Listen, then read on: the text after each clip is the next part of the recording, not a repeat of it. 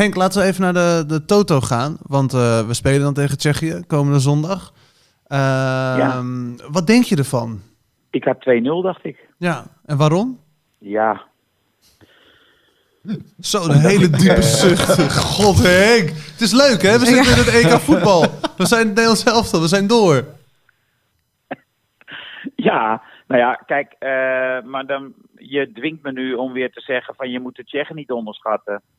Uh, want dat ligt dan voor de hand. Als je zegt 2-0, het wordt 3-0, het wordt 2-0. En straks dan maken die Tsjechen gewoon een doelpunt in de eerste helft, Nederland in de tweede helft. Dan wordt het 1-1 met verlengen en penalties. En uh, dan hebben we een, uh, misschien een probleem.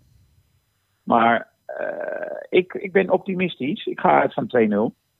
Ja, we gaan zo meteen nog even schakelen met Hugo. Dan kan hij ook nog zijn toto invullen. Henk Spaan is 2-0. Matthijs van Nieuwkerk 1-0. ik zelf heb 3-1 ingevuld omdat we toch best wel lekker aan het scoren zijn de laatste tijd. En we krijgen sowieso een doelpunt tegen. Hugo, wat denk je van uh, het Nederlands elftal? Want uh, we spelen tegen Tsjechië zondag. Uh, ja, jij hebt ingevuld 2-1.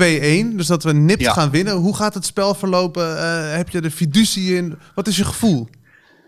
Nou ja, de, de, de weg is vrij naar de finale, zou ik bijna zeggen. En meteen moet je dan op de, op de rem trappen. Want wij zijn er altijd heel erg goed in om onszelf net iets te goed te vinden en de mhm. tegenstander die ook waarschijnlijk niet zo goed lijkt uh, te onderschatten. Dus uh, ja, als we daar, als we in die valkuil niet trappen, dan uh, is het Tsjechië, Denemarken en dan is het waarschijnlijk Duitsland of Engeland. Ja, dan gaat het erom. Dat zal erom spannen. Dat is echt 50-50. Maar ja, als, als Frank de Boer niet raar gaan doen en toch niet met, uh, met uh, Weghorst op de proppen komt, hè, onder het mom van, weet je wat, we spelen die Tsjechen eerst een uur lang helemaal uh, moe en daar hebben we Weghorst voor nodig en dan pas malen, daar ben ik een beetje bang voor dat hij dat gaat doen. Nee, als hij gewoon vanaf het begin met malen gaat spelen, je zag toch dat het een hele fijne driehoek is, ja. hè, met Wijnaldum erbij en, en Memphis.